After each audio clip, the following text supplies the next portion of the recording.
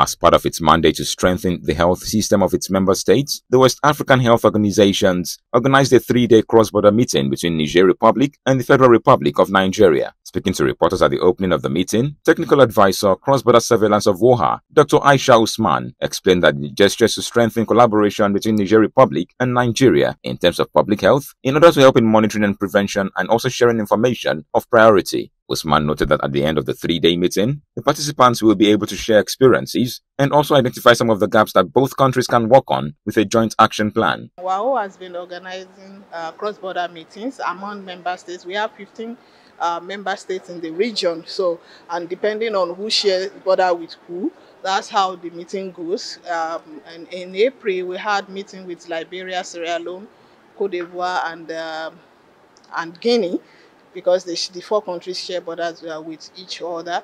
Uh, the vision of WAHO uh, to be able to strengthen the public health system of, uh, of our member states in the region. That's why we're doing it to prepare and also to prevent any future public health emergencies within the region. When asked if it was heavy metal poisoning that necessitated the meeting, representative of Zamfara State Ministry of Health, Dr. Yusuf Abubakar explained that it is one of the factors that necessitated the meeting. At the end of this three days meeting, we are expected to develop uh, you know, an, a coordination action plan where uh, uh, the response interventions will be coordinated as one health.